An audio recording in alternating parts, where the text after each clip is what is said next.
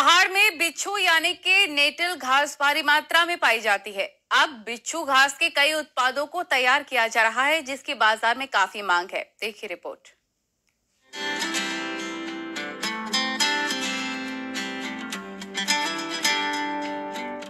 बिच्छू घास के पत्तों में आयरन भरपूर मात्रा में पाया जाता है, जो शरीर में खून की कमी को दूर करता है।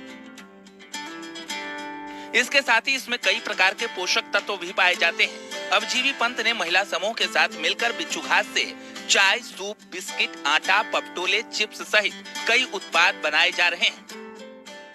जो बिच्छू घास होता है, जिसको हम लोग लेटल कहते हैं, यहाँ का हिमालय का, उस लेटल के बहुत सारे इस्तेमाल हो सकते हैं। जैसे सब जानते हैं कि उसकी मेडिसिनल वैल्यू है और उसके रेशे से भी वस्त्र बनते हैं अलग अलग प्रजातियों से।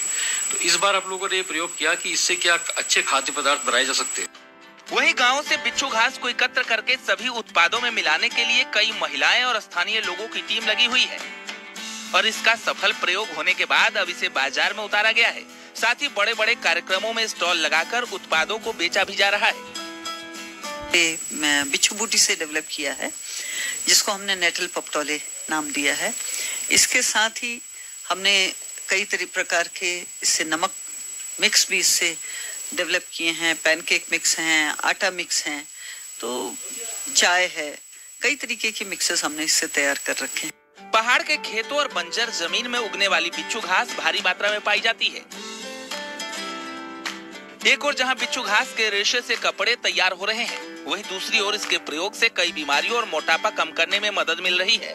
अगर उत्पादों की मांग बढ़ी तो पहाड़ की बिच्छू घास खेतों के लिए अभिशाप नहीं, एक जड़ी बूटी का काम करेगी। और लोगों को स्वरोजगार देने में मदद करेगा।